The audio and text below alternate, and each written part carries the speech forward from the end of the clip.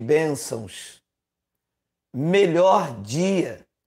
Bem-vindos ao dia que se chama o dia do meu milagre. Estamos vivos, acordamos e vamos experimentar a boa, a perfeita e a agradável vontade do Pai. Espero em Cristo que você tenha tido uma noite totalmente agradável, uma noite reparadora. E vamos agora então para este dia que eu creio no meu espírito será um dia extremamente perfeito. É claro que nós sabemos também e não podemos ignorar que pode ser o último dia da nossa existência neste plano físico. Esta carne não tem vida eterna. A qualquer momento, a dádiva, o fôlego de vida nesta matéria pode se romper. Por isso é muito importante você procurar viver o melhor que você pode hoje. Ame, não guarde mágoa, não guarde rancor. Você pode partir dessa experiência e deixar este corpo. E não vamos deixar um legado de ódio, não vamos deixar um legado de tristeza, de dores. Se possível, quando depender de vocês, tenham paz com todos os homens. O amor é o vínculo da perfeição. Para que sustentar o ódio se ele pode ser dissipado com amor? Para que viver nessa tristeza se a alegria é a companheira melhor, sendo constante, é que te faz bem? Melhor dia, bem-vindos aos novos inscritos. Obrigado, eu sou grato. Todas as manhãs eu sou grato pela tua companhia, por estarmos juntos logo cedo e para poder compartilhar de uma boa palavra que alimenta a nossa alma, nos encoraja e nos faz valer de grandes reflexões. Nesta manhã, eu quero fazer uma reflexão com você.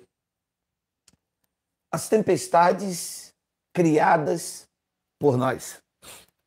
Eu sei que muitos dos senhores já ouviram a expressão uma tempestade em um copo d'água. Pois bem, eu quero dimensionar, eu quero falar com vocês das tempestades que muitas vezes nós fazemos com um pingo d'água. Às vezes, é uma situação tão pequena, uma situação mínima, por motivos interiores, por situações internalizadas, nós criamos uma tempestade num pingo d'água. Eu estava conversando com uma abençoada em que ela pagava a faculdade do próprio filho. Só que para sustentar a palavra que ela deu ao filho, que pagaria a faculdade até o fim, sem saber que isto, ela não fez um balanço financeiro, e pagando a faculdade do próprio filho, ela ia se livrando de algumas outras coisas, abrindo mão de algumas coisas, de perfume, de cosmético. E então, no seu interior, ela alimentava um desejo de se ver livre deste compromisso. Mas bastava apenas ela dizer: meu filho, eu vou ter que quebrar a minha palavra, não vou ter mais como sustentar aquilo que eu prometi para você. E ela então ficou às espreitas da vida dele. Ela ficou procurando um motivo exterior para resolver algo que a incomodava interiormente. E ela então descobriu que o seu filho era homossexual. E aí?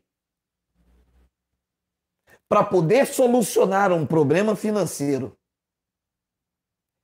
ela demonstrou um ódio que na verdade ela não tinha. O que ela tinha era o desejo de se livrar daquele compromisso. E ela fez dessa descoberta um ódio para justificar aquele problema de não conseguir pagar a faculdade. Ela começou a odiar o filho. O filho começou a se tornar uma pessoa estressada. Começou a usar drogas. Começou a agredi-la. Sem a faculdade, que era o seu sonho, ele começou a vender o seu corpo. Ele começou a se envolver com prostituição, vender objetos dentro de casa. Brigas constantes se tornaram a companhia daquela mulher. Ela não pagou mais a faculdade, mas agora gastava todo o seu dinheiro com remédios, com consultas no psiquiatra. Começou a também a beber compulsivamente. Engordou 12 quilos ao longo de dois anos. Criou uma tempestade em um pingo d'água. Eu conversei com ela e disse a ela: por que você simplesmente não disse que não iria mais pagar a faculdade? Você era mãe, exercia uma autoridade. Você descobriu, na verdade, não que ele era um homossexual, porque se você pagando e conversando e descobrisse, você não precisava aceitar a prática, mas poderia amar o seu filho, porque o amor cura tudo. Mas você criou uma justificativa para dizer que não poderia pagar mais e usou o ataque, o ódio como defesa. Essa mulher fez uma reflexão e começou a amar o seu filho. Ela mudou a ótica do relacionamento. E o amor fez coisas que até mesmo os crentes duvidam. Começou a curar primeiro a ela. Ela se perdoou e pediu perdão ao filho. Ela disse: Meu filho, eu sempre te amei. Eu não aceito a sua prática, mas te aceito como meu filho. Eu te amei do momento em que você abriu os olhos.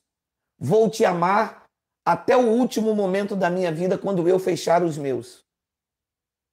E abriu o coração. O filho ressabiado continuou com as atitudes seis meses.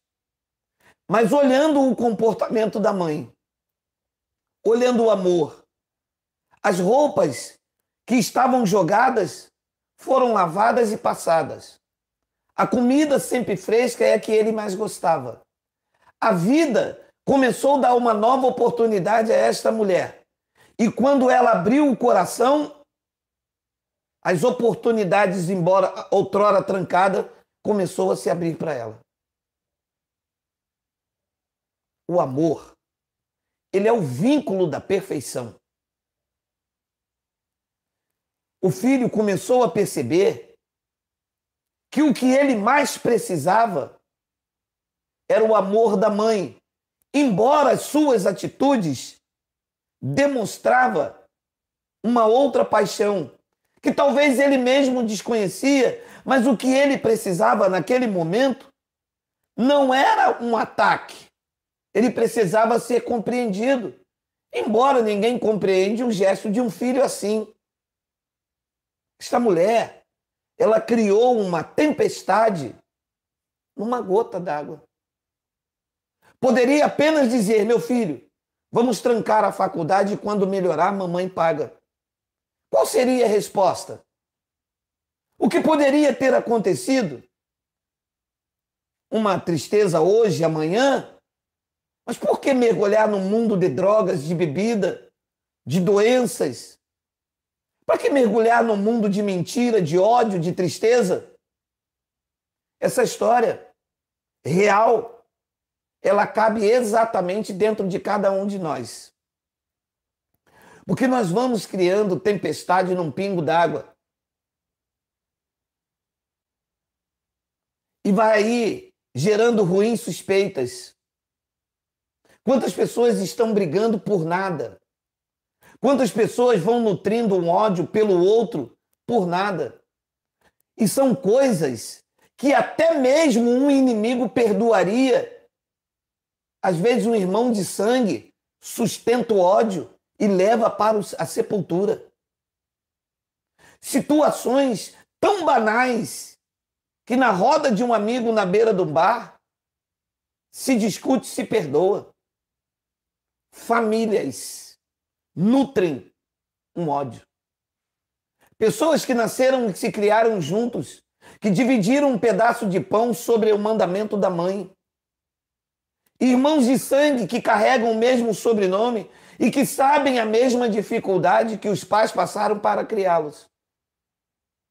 Por conta de um casamento bem-sucedido, ou de um emprego realizado, ou de um sonho que se busca.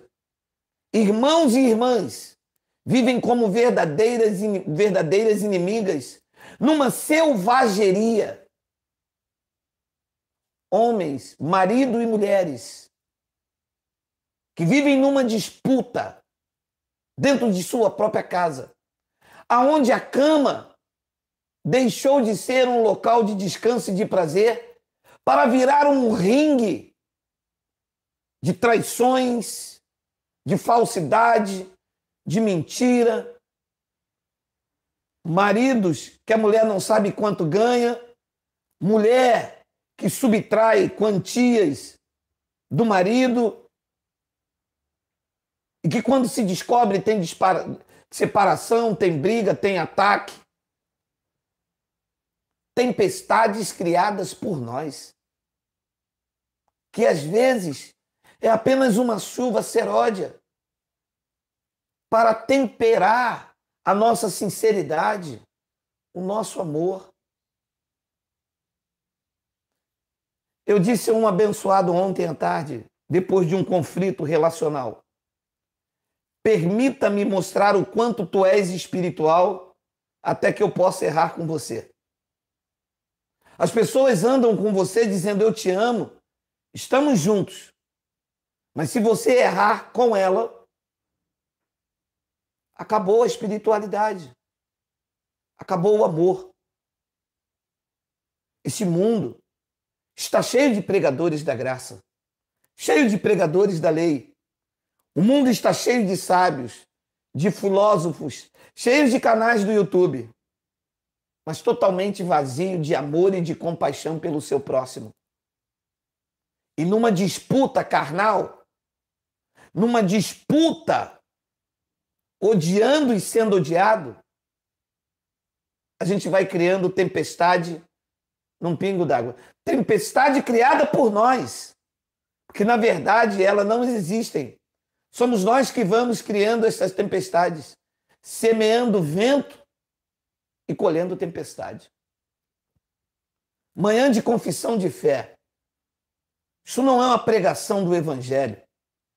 Isto é uma lição de vida. Manhã de confissão de fé não é um programa sobre religião ou um programa sobre evangelho. Manhã de confissão de fé é uma lição de vida a quem quer mudar o seu comportamento, as suas estratégias, a sua forma de viver, a ótica de olhar o outro num altruísmo, se colocando no lugar dele. Manhã de confissão de fé não é ouvir Geraldo, é ouvir lição de vida. É deixar de fazer tempestade com um pingo d'água. É olhar para dentro de si mesmo e dizer: eu posso ser melhor, eu quero ser melhor, eu vou ser melhor. Vou começar me amando, perdoando o meu próximo, para que eu seja curado. Porque a cura vem de traumas, de vingança, de desejos de ira pelo seu próximo, pelo seu irmão, pela sua própria família, quando você se perdoa e a cura vem. Como veio para esta mulher, como veio para os seus filhos. Sim, talvez você esteja me perguntando, ele ainda é homossexual? Sim, isto é a opção dele. Homossexualismo não é demônio. Homossexualismo É a opção dele. E o que não entendemos, talvez quem sabe a ciência sabe dizer, mas nós não estamos aqui julgando o mérito do que ele faz. O mérito deve ser julgado com aquilo que eu faço em relação ao que ele escolheu para a vida dele. Eu não posso me tornar mal porque o meu irmão errou comigo. Eu não posso me mostrar falso quando alguém erra comigo. Eu não posso me mostrar uma pessoa que odeia quando alguém precisou de amor e de perdão. Perdão, amor, compaixão, misericórdia não é para quem quer, é para quem precisa. E quem precisa, o verdadeiro coração cristão estará sempre pronto para desfazer essa tempestade feita num pingo d'água. Tempestades criadas por nós deve ser dissipada. Não promova uma tempestade. Acalme-a com amor, graça e misericórdia. Melhor dia. Pense nisso. Dê o like. Compartilha. E seja feliz. Este pode ser o último dia da tua existência nesse plano físico. A vida, ela é presa por um fio que se rompe facilmente. Possa ser que você não me veja amanhã ou não conte com a sua presença amanhã. Mas uma coisa nós queremos ter: paz de espírito enquanto nós vamos viver neste plano físico. Meu nome é Geraldo Moraes. Às 11h40 eu estou de volta quando isto acontecer, avisa lá que GG está on. Melhor dia. Graça